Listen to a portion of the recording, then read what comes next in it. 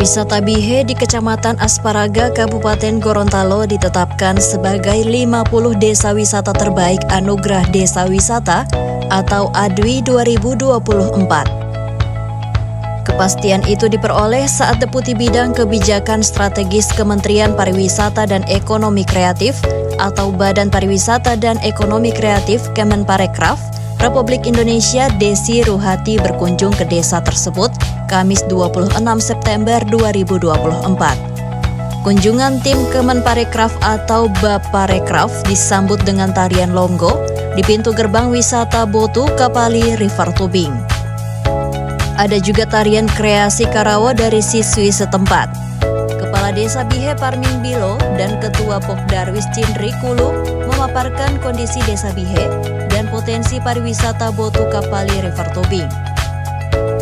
Deputi Desi Ruhati dan rombongan juga diajak melihat produk UMKM dan ekonomi kreatif warga setempat. Pada kesempatan itu, Desi Ruhati sempat memborong makanan ringan yang dijual.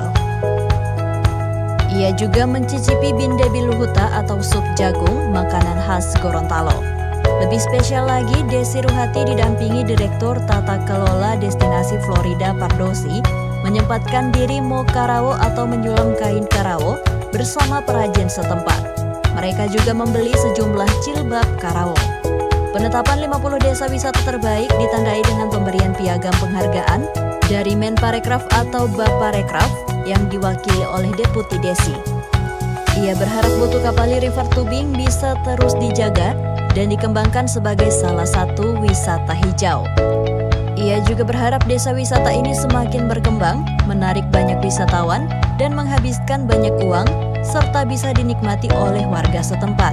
Kata terbaik dalam anugerah Desa Wisata Indonesia 2024. Dengan demikian, tentunya semua masyarakat di sini selain bangga juga memiliki tantangan yang harus segera disiapkan untuk diselesaikan untuk menjadikan desa wisata Bihe ini terus berlanjut menjaga kelestarian lingkungan, mengikuti uh, metode sustainability atau keberlanjutan dan juga untuk meningkatkan pariwisata yang berkualitas. Bukan hanya tugas masyarakat menjaga lingkungan, tapi juga tugas dari wisatawan itu sendiri. Jadi semuanya saling kita untuk menjaga hal Sekali lagi selamat untuk Desa Wisata Bihe kita ucapkan semoga Allah meridhoi usaha dan kemudian merahmati seluruh masyarakat desa Bihe dan menjadikan desa yang sejahtera, berdaulat, kemudian hmm. menuju desa wisata hijau berkelas dunia. Kehadiran Desi beserta rombongan didampingi Kadis Pariwisata Pemprov Gorontalo Arianto Husain, Asisten Bidang Pemerintahan dan Kesra Pemkap Gorontalo, Nawir Tondako, dan Kadis Porapar Rita Idrus. Hadir juga Kepala Desa Bihe Parmin Bilo dan Ketua Pokdarwis Bihe Cindri Kulum.